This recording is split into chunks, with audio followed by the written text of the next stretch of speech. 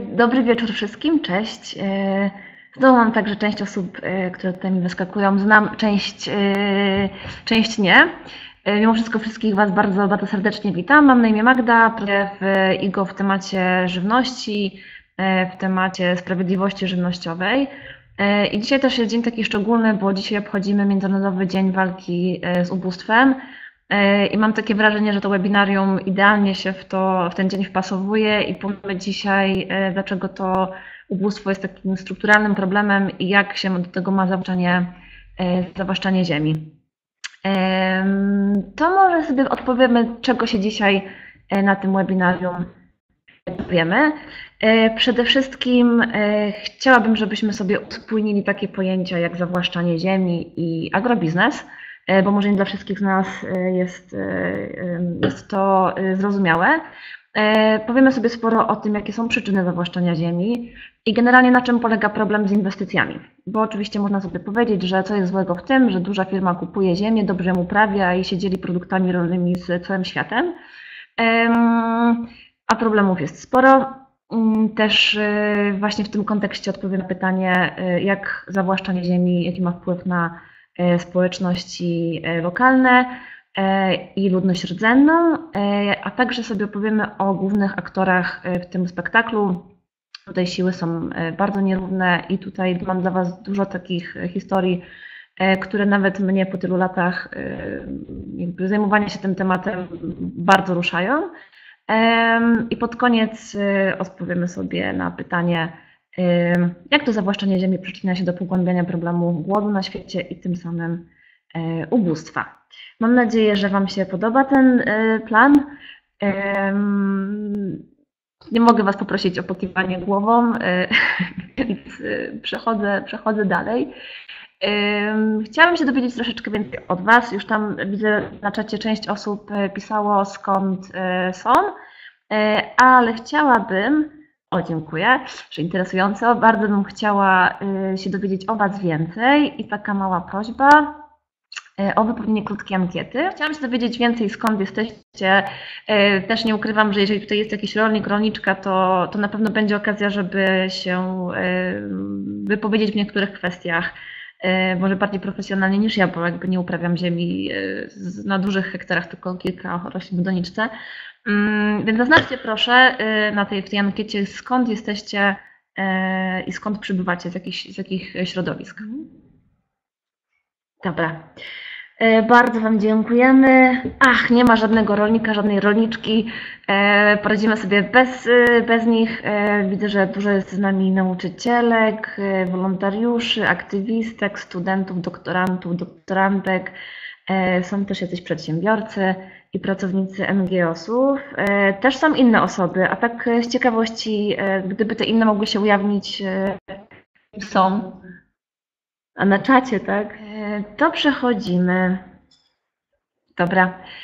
Nie wiem jak Wam, ale mi pierwsze co przychodzi do głowy, kiedy słyszę agrobiznes, to jest taki program, który do tej pory jest wyświetlany w telewizji polskiej w niedzielę E, to jest program dla e, rolników i właśnie wszystkich osób związanych z biznesem. I teraz, kiedy to sobie rozbić, ten agrobiznes, to wyjdzie nam biznes związany z rolnictwem. Ale co jest tutaj istotne, to jest to biznes związany z całym systemem żywnościowym. E, I tutaj tak, od pozyskiwania surowców pierwotnych. Surowce pierwotne to są wszystkie warzywa, owoce, grzyby, czyli żywność nieprzetworzona. E, I tutaj też mówimy o firmach, które na przykład sprzedają nasiona, sprzedają środki ochrony roślin, a także e, maszyny rolnicze. Mm, też e, to obejmuje właśnie przetwarzanie żywności, czyli różnego rodzaju cukiernie, piekarnie, fabryki dżemów, także browarnie. Produkcja żywności, tutaj też chodzi o fabryki, które produkują tą żywność, półprodukty, E, a także pakowanie żywności i marketing. Także agrobiznes to jest cała jedna wielka rodzina różnych firm powiązanych właśnie z, z wytwarzaniem e, żywności. Jeśli myślicie o zawłaszczaniu ziemi, to z czym Wam się kojarzy? Jakie są Wasze pierwsze skojarzenia z e, tym hasłem zawłaszczanie ziemi? I mam prośbę, żebyście pisali tą odpowiedź na, na czacie. Kradzież. Mhm nadmierna eksploatacja Wybranie ziemi właścicielom to jest bardzo ciekawa, y, ciekawe sformułowanie, bo potem sobie zobaczymy właśnie, jak jest z własnością ziemi. Y, Madagaskar, dobrze, to też widzę, że y, ktoś tutaj może powie potem jakieś przykłady. Z prywatyzacją, mhm, przejmowanie ziemi za pomocą kruczków prawnych, angielskie słowo land grabbing, wycinanie lasów tropikalnych. Dobrze, super. Śmieszne pieniądze, to też sobie o tym powiemy. Dobrze. Zmiana siedlisk i kultury. E, kolonizacja. Bardzo się cieszę z wszystkich Waszych odpowiedzi. E, one wszystkie pokazują, że ten temat jest bardzo złożony i na niego można spojrzeć z bardzo wielu różnych e, perspektyw i tak, tak, tak dzisiaj na niego będziemy sobie patrzeć. Tylko uściślając, uściślając czym jest zawłaszczanie ziemi, właśnie angielskie land grabbing, to jest zjawisko albo kupowania, albo dzierżawienia E, dużych obszarów ziemi e, przez międzynarodowe firmy lub rządy, e, które najczęściej są z innych państw, ale to też nie jest jakby reguła. Czasem się zdarza tak, że, mogą zawłaszczać właśnie firmy należące do danego państwa, ale to też jest ważne, mm, że przejmowana ziemia jest potem wykorzystywana pod produkcję na, nastawioną na eksport. E, I tak jak tutaj ktoś z Was napisał, że przejmowanie tej ziemi za pomocą kruczków prawnych, e, to zawłaszczenie ziemi mogłoby się kojarzyć z czymś, e, jakimś takim nielegalnym procederem gdzieś pod osłoną nocy. Problem w tym jest właśnie taki, że ta ziemia w właściwie większości przypadków jest przejmowana legalnie, mm, to znaczy zgodnie z literą prawa. Natomiast to prawo nie do końca jest prawidłowo stosowane. E, I nie wiem, czy ktoś z Was tutaj był na seminarium dotyczącym podatków e, i tym właśnie, jak firmy wykorzystują różne luki prawne w systemie podatkowym, ale jeżeli chodzi o zawłaszczenie ziemi, to jest to bardzo e, podobny proceder, czyli duże firmy, które mają duże budżety na dużych prawników, ale też często na przykład organizowanie imprez w wioskach, gdzie potem ma zostać przyjęta ziemia, żeby przekabacić mieszkańców dla siebie jakby ma na to, ma na to budżety. Mm, I e, przepędzanie. Mhm. I e, często jest ten proceder porównywany z neokolonializmem. I teraz ważna, ważna też informacja, zawłaszczanie ziemi to nie jest nic nowego. Ono się wydarzało praktycznie od zawsze. Taki najbardziej ewidentny właśnie przykład to jest kolonizacja, kiedy ludzie z, w ogóle z innych części świata przypływali na nowe, nowe tereny i zabierali te ziemię, najbardziej żyzną ziemię, e, pod uprawę produktów, które potem znowu dostarczali do swoich jakby państw pochodzenia. E, I stąd właśnie to nawiązanie do neokolonializmu, ponieważ też bardzo często teraz firmy, które dokonują tego zawłaszczania ziemi, właśnie produkują E, czy to żywność, czy, e, czy agropaliwa, które mają służyć nie tam na miejscu, tylko właśnie e, w społecznościach, w państwach oddalonych o tysiące kilometrów. Teraz tak, dlaczego, dlaczego inwestycja w ziemię? Tak jak powiedziałam, zawłaszczanie ziemi nie jest niczym nowym, natomiast kiedy popatrzeć na statystyki, kiedy tempo zawłaszczania ziemi się zwiększyło znacznie, przyspieszyło, E, to zadziało się to po kryzysie finansowym, który był mocno też bardzo związany z kryzysem żywnościowym z 2008 roku. E, wtedy nie wiem, czy pamiętacie, ale właśnie mm, ceny żywności poszybowały bardzo do góry. Mm, z drugiej strony banki, czyli takie instytucje, które wydawało się, że zapewniają właśnie bezpieczeństwo inwestycjom, upadały. Natomiast ziemia E, w takim przypadku wydawała się e, zyskowną inwestycją i taką bezpieczną inwestycją. A właśnie ze względu na to, że ceny żywności rosły, to dużo e, państw, dużo rządów zaczęło inwestować w ziemię gdzieś poza swoimi terytoriami, żeby, to, żeby tą taniej żywności móc, móc utrzymać. I to właśnie wtedy inwestorzy i właśnie rządy krajów globalnej północy, to oczywiście jest bardzo umowne pojęcie, to głównie chodzi o, o takie państwa E, takie kraje, które po prostu są bogate i nie na to stać, mm, ruszyły na poszukiwania taniej ziemi. I teraz tutaj na slajdzie widzicie taką informację, że znaleźli ją w wielu krajach globalnego południa. E, to nawet nie tylko chodzi o taniość tej ziemi, ale też chodzi o pewne przepisy prawne. E, jak się domyślacie, w, nie wiem, w krajach Unii Europejskiej czy w Stanach, ziemia jako ziemia jest mocno obwarowana prawnie, to znaczy nie tak łatwo ją wykupić, przejąć. Tak jak teraz, zgodnie z, z naszą nową reformą, na przykład rolną w Polsce, trzeba na przykład należeć do rodziny rolniczej. Jest szereg przepisów, które uniemożliwiają firmom takie łatwe przejęcie, przejęcie ziemi. Natomiast w tych krajach e, biedniejszych, które na przykład są targane różnego rodzaju katastrofami naturalnymi, konfliktami zbrojnymi, kiedy jakby są bardziej poważne e, problemy, z którymi się zmagają te społeczności, ta ziemia jest po prostu łatwiejsza do zdobycia. E, więc to też z tego wynika. Jak to celnie i w punkt ujął Zygmunt Bauman, kapitalizm szukuje gorączkowo nowych pastwisk, na których mógłby generować zyski. A jak potem zaraz zobaczymy, zyski z, z, z ziemi e, są milionowe, miliardowe. E, e, jest to jeden, jeden z najbardziej rozwijających się w tym momencie przemysłów gospodarki, która, no co by nie mówić, będzie zawsze, zawsze te zyski generować, ponieważ jako ludzie potrzebujemy żywności. Więc to jest taki przemysł, który, który, który zawsze będzie. I teraz takie mamy dla Was ćwiczenie. Y, tutaj y, widzicie y, wykres kołowy i inwestycje, które, pod które właśnie firmy tudzież rządy zawłaszczają ziemię. I teraz chciałabym, żebyście przy nazwach tych inwestycji postawili kropkę. Jak widzicie na tym wykresie, ten niebieski, mm, ta niebieska część jest największa, czyli inwestycja y, tego biznesu ma największy wpływ na zawłaszczanie ziemi. I teraz pytanie, czy to są agropaliwa, czy to, są, czy to jest produkcja żywności, to jest, są uprawy na sprzedaż, tutaj mówimy o kawie, bananach, ale też o y, bawełnie, trzcinie cukrowej, mm, czy jest to właśnie na przykład y, hodowla, parki narodowe, zalesianie. Tutaj ktoś wspomniał o jakby wywłaszczaniu z Parku Narodowego Serengeti w Tanzanii y, społeczności masajskiej. Dobra, widzę, że macie dwa różne systemy alternatywne zawłaszczania, e, Boże, zawłaszczania już, zawłaszczania ekranu e, i tego ćwiczenia.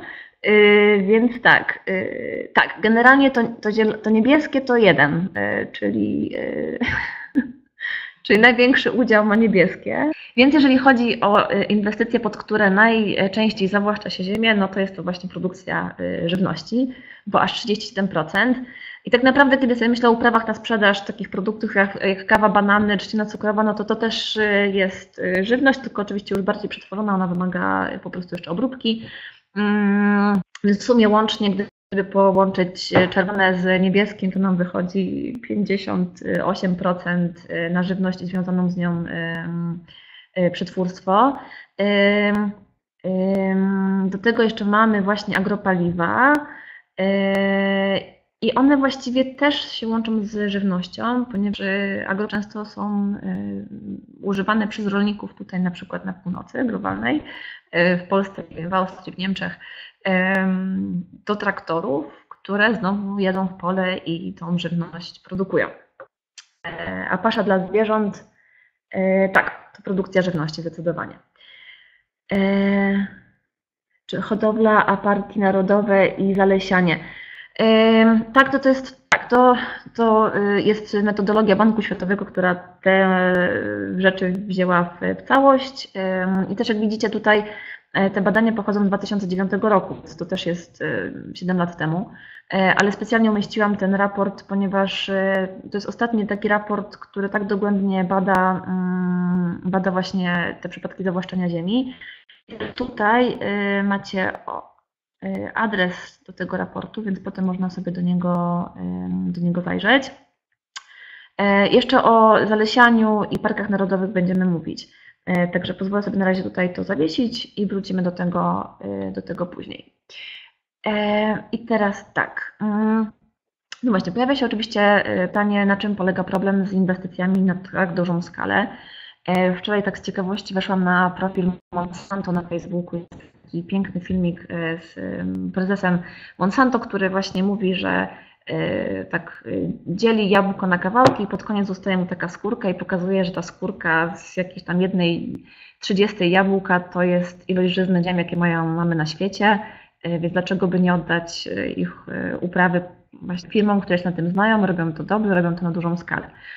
Problem polega na tym, że musicie sobie tak wyobrazić właśnie, że jesteście gdzieś, jesteście drobnymi rolnikami na przykład w Polsce, e, przychodzi do Was duża firma, która wykupuje od Was i od Waszych sąsiadów, i od Waszych sąsiadów, i od Waszych sąsiadów ziemię i zaczyna intensywnie ją uprawiać.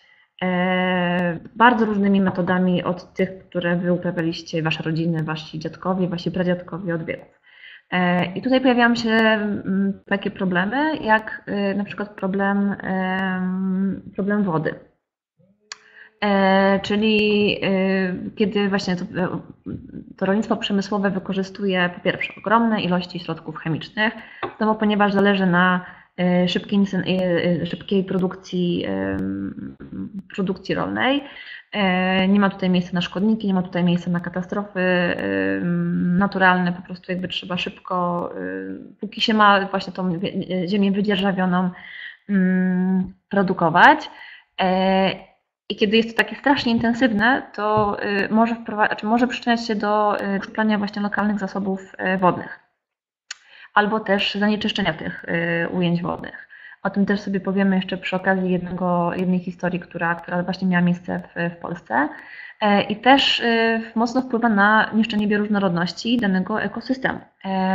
I teraz kolejny, kolejny problem, jak tutaj widzicie w tle, takie pole, na którym prawdopodobnie rośnie jakiś, jakaś roślina służąca do uprawy bioliw rośliny jadalne zaczynają konkurować z roślinami, e, które są przeznaczone na agropaliwa. Agropaliwa, czyli to są wszystkie te e, paliwa, które mają pochodzenie e, właśnie roślinne, czyli to są rzepak, to jest olej palmowy. I przez to, że właśnie jakby te rośliny, które wcześniej były jadalne, stają się roślinami przeznaczonymi na produkcję agropaliw, powoduje, że ich, ich cena na, na rynku rośnie. E, I właśnie, to też od razu jest takie całe pytanie etyczne, czy możemy sobie pozwolić na to, żeby e, przy w momencie, kiedy prawie 800 milionów ludzi na świecie nadal cierpi głód, mm, przeznaczać tak duże połacie ziemi e, na uprawę co, czegoś, co może być żywnością, na coś, co żywnością nie jest, co służy właśnie pozyskiwaniu, pozyskiwaniu energii.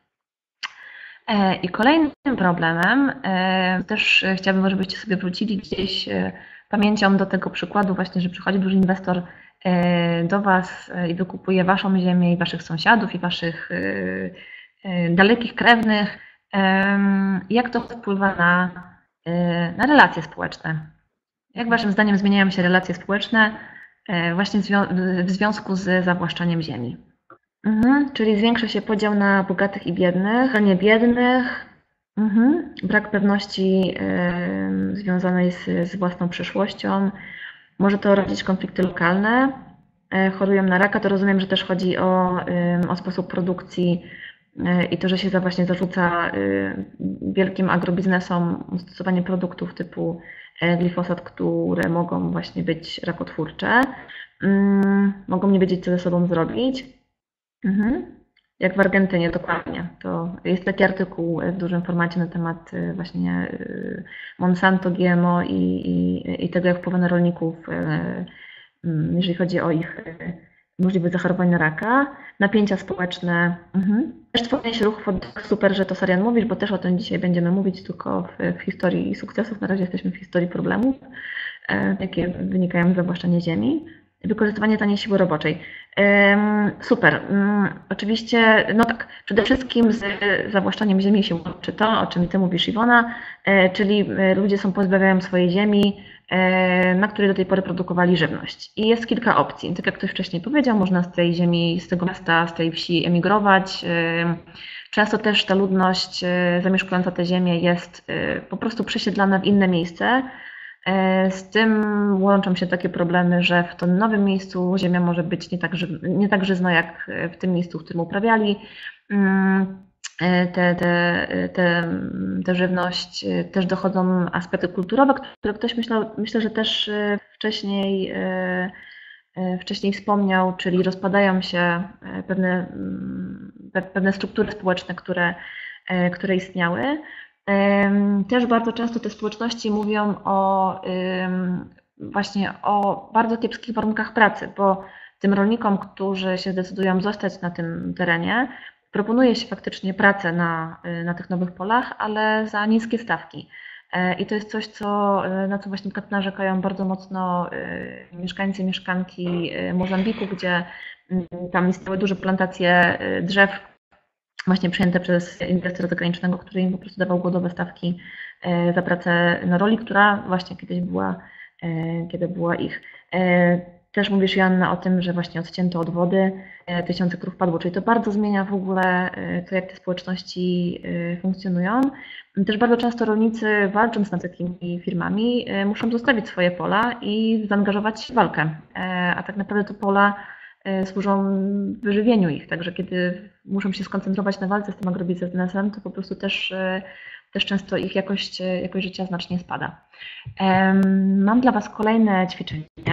Mm, teraz tak, tutaj widzicie jest kilka, kilka liczb i chciałabym, żebyście też na czacie spróbowali mi dać odpowiedzi, co one mogą oznaczać. Wszystkie są związane z właśnie z tematem zawłaszczania ziemi. 70 milionów hektarów, jak myślicie, co to może, co stoi za tą liczbę? Za tą liczbę? No super. Natalia była pierwsza. Tyle do tej pory szacuje się, że ziemi zostało zawłaszczonych. Mm. Gdzie znalazłam informację, że to jest mniej więcej wielkości Rio de Janeiro, ale, ale to ktoś musiałby sprawdzić, kto jest, kto jest lepszy z, z matematyki. E, czy to faktycznie się przekłada na, na obszar Rio de Janeiro. Teraz 10 e, tysięcy hektarów. Dobrze, do, dobrze, Magda, kombinujesz.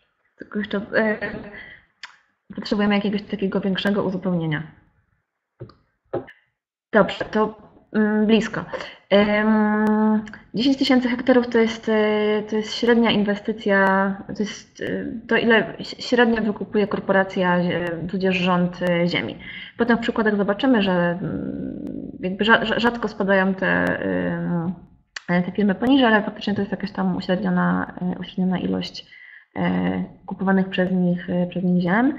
Tutaj patrzy, jest pytanie, czy każde przyjęcie przez firmę to zawłaszczanie.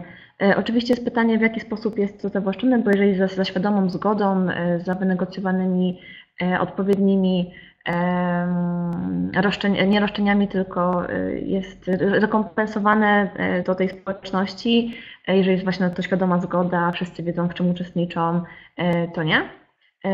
Ale też to, co odróżnia właśnie często zawłaszczanie ziemi od zwykłego zakupu, to jest to, że tworzone, produkowane na tej ziemi dobra nie służą danej społeczności, tylko właśnie służą, są eksportowane. To jest taka, taki wymiernik.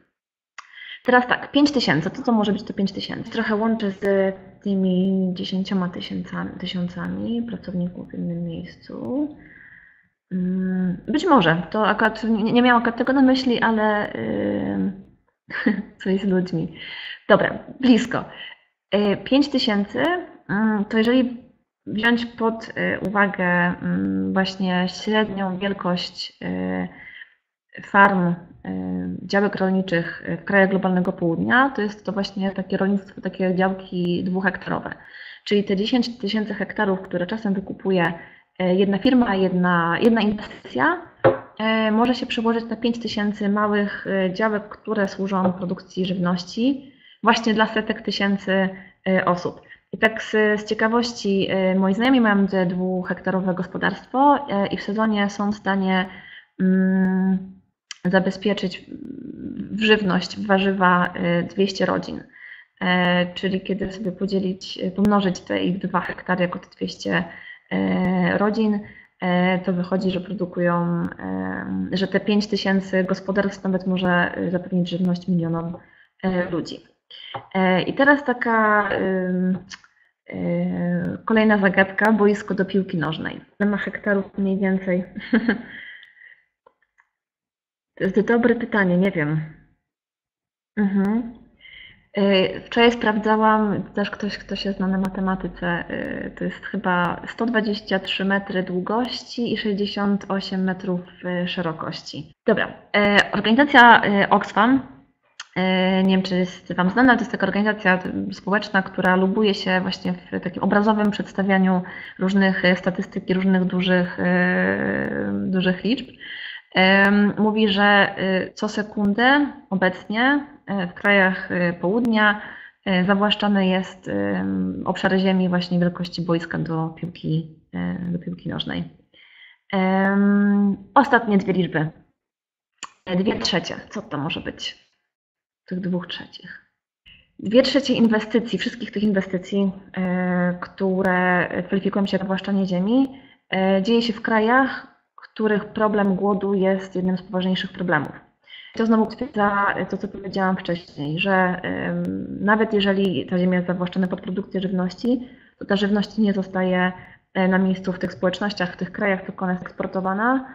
E, I właśnie to jest, to jest tutaj tym paradoksem, że, że ta ziemia jest e, wykupowana właśnie w miejscach, gdzie, gdzie problem głodu jest problemem poważnym. I ostatnia, mm, ostatnia liczba 68%. 68% e, firm właśnie deklaruje, że wszystkie, wszystkie produkty produkowane, wytwarzane na tym terenie idą na eksport, czyli nawet część nie zostaje na miejscu. Tylko aż 68% tych inwestycji nie tak wyjeżdża. E, z tego terenu. Dobra, bardzo Wam dziękuję za to, e, za to ćwiczenie. Poszło nam bardzo, e, bardzo sprawnie. Mm, I teraz tak, no ciekawa, ciekawa informacja, czyli kto gra w tym spektaklu, kto jest tutaj głównym aktorem.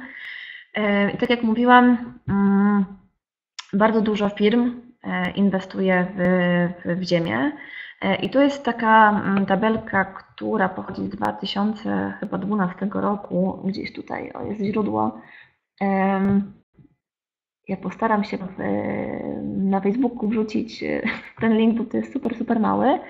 Mm, ale tak jak sobie zobaczycie, e, to jest 10 właśnie głównych inwestorów w ziemię tak jak powiedziałam, nie zawsze, nie zawsze to, są, e, to są korporacje. Akurat w tym zestawieniu na pierwszym miejscu jest e, rząd Indii, ale zaraz tutaj potem e, macie już same, same firmy.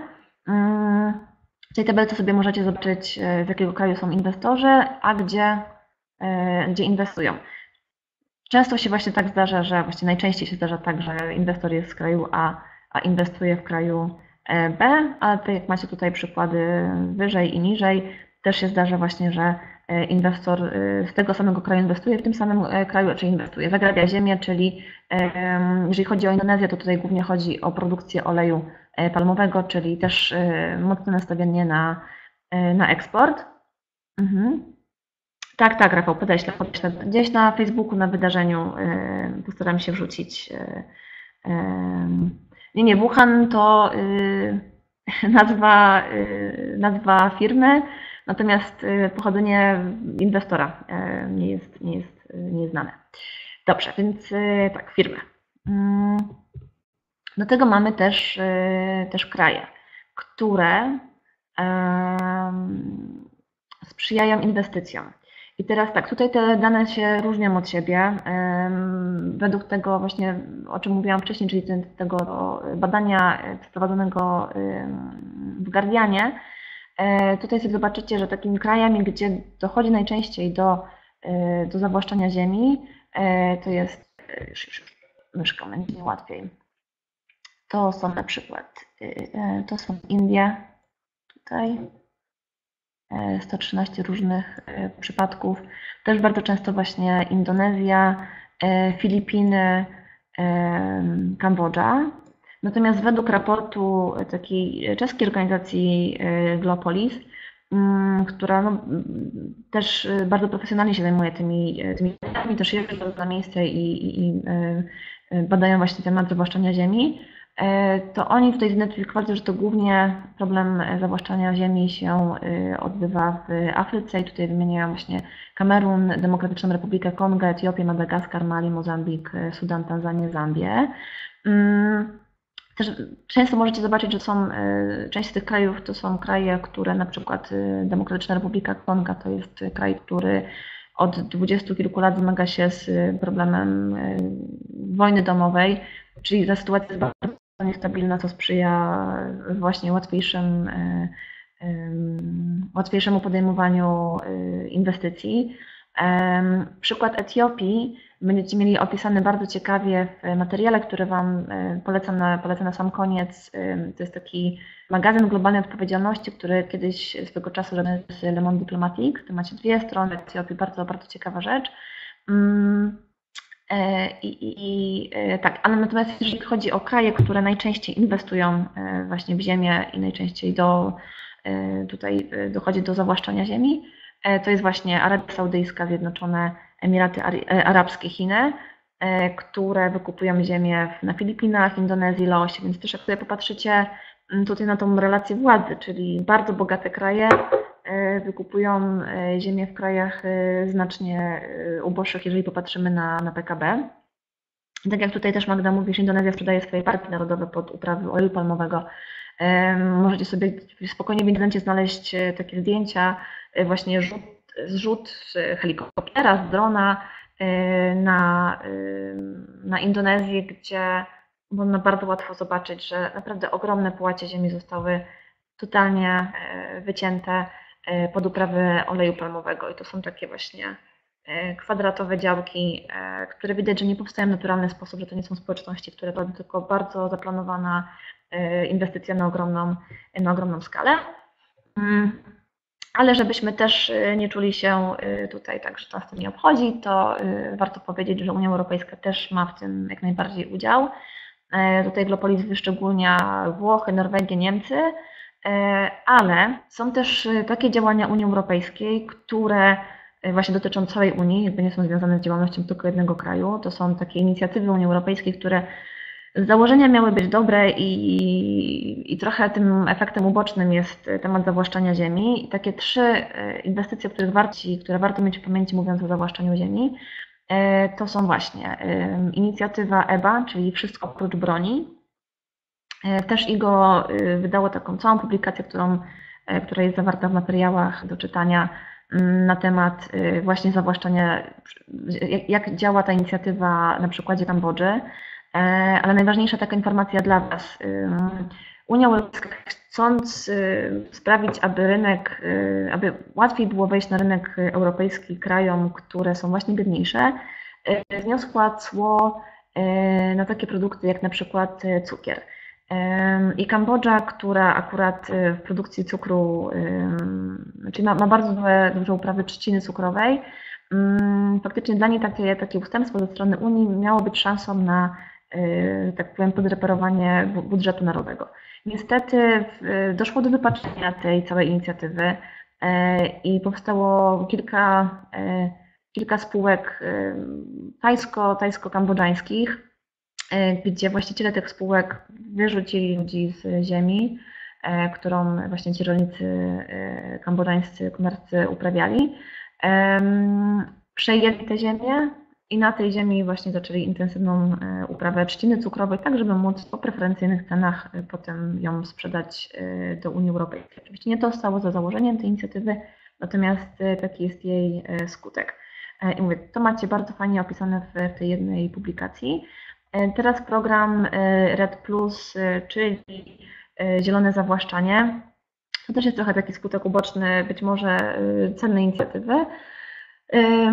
To jest bardzo mocno związane z protokołem w Kyoto. Nie wiem, czy ktoś Was słyszał o handlu emisjami, ale w bardzo wielkim skrócie, bardzo wielkim uproszczeniu. Firmy miały móc produkować dalej dwutlenek węgla potrzebny do produkcji różnego rodzaju dóbr, ale rekompensować to zalesianiem innych terenów, tak żeby ta ilość dwutlenku węgla gdzieś się wyrównywała, tak żeby te przyszłe mogły ten dwutlenek węgla absorbować. jak się możecie łatwo domyślić, duża część tego właśnie zalesiania się dzieje w, w krajach południa, gdzie właśnie regulacje dotyczące ziemi są znacznie osłabione i to się niestety właśnie łączy z tym, że często inwestorzy poszukujący właśnie terenów pod zalesianie znowu wyrzucają rolników ziemi uprawnej i tam tworzą te, te lasy. I znowu przykład niby słusznej inicjatywy, która, która została wypaczona. E, I teraz ostatnia inicjatywa warta uwagi to jest e, RED, e, czyli odnawialne źródła energii. To jest inicjatywa, z której się powoli Unia Europejska wycofuje mm, i ona się łączy z biopaliwami. Tutaj chodziło o to, że Unia Europejska wymyśliła, że żeby właśnie obniżyć produkcję CO2 do atmosfery, żeby te zmiany klimatu, które są wywoływane działalnością człowieka, nie były aż, nie postępowały w tak zastraszającym tempie jak obecnie, to żeby część tych paliw pochodzących właśnie z, z ropy naftowej zastąpić agropaliwami, czyli tymi jakby dobrymi paliwami. Mm, I tam do 2020 roku e, w transporcie właśnie takim miejskim 20% wszystkich paliw to miały stanowić agropaliwa. E, szczęście w nieszczęściu szybko się okazało, że, że uprawianie roślin na biopaliwa ma fatalne skutki dla społeczności właśnie zamieszkujących tych terenach i Unia Europejska w tym momencie zeszła w tych procentach do 7%, czyli 7% paliw mają stanowić paliwa odnawialne. Oczywiście też są zdania podzielone. Niektórzy mówią, że w ogóle się powinno z tego zrezygnować. Inni mówią, że Unia Europejska będzie dążyła do 10%. Także to jest temat, który, który na pewno warto, warto śledzić. Bardzo dziękuję tutaj za porzucenie ciekawych linków. Jak macie coś takiego, to jak najbardziej e, wrzucajcie. E, I teraz chciałam przejść do e, kilku, historii kilku rolników, rolniczek, które są bardzo wzruszające. One jeszcze nie są nigdzie w obecne, długo będziemy e, jako IGO je, je wrzucać. Ale przyznam Wam szczerze, że e, czytając je nawet, tak jak mówiłam na samym początku, mimo że siedzę w tym temacie od jakiegoś czasu i mi się wydawało, że już mnie te rzeczy aż tak bardzo nie ruszają, to, to jednak każda historia tej, wszystkich tych osób, które tutaj zobaczycie, mm, pokazują, jakim strasznym procederem jest zawłaszczanie i jak właśnie on wiele tych oblicz ma. Tutaj na tym zdjęciu widzicie, co sobie pomagam notatkami, ponieważ, tak jak mówię, te historie są bardzo złożone i niedługo w internecie. Sisi, Sisi z Australii, z Australii jest aborygenką i to jest właśnie przykład, jej historia jest przykładem tego, jak rządy współczesnych państw średnio sobie radzą ze społecznościami rdzennymi, ludnością rdzenną. W tym momencie, jeżeli chodzi o prawa do ziemi aborygenów w Australii, to obowiązuje ich coś takiego jak native title. Natomiast, tak jak tutaj właśnie Sisi opowiada w swojej historii, e, te prawa, które im zostały przyznane, nie są wystarczające, e, aby uchronić ich przed zawłaszczeniem ziemi. Nadal jest łatwo firmom przyjść i z tych ziemi ich wyrzucić. I ona właśnie między innymi z, z innymi ludźmi z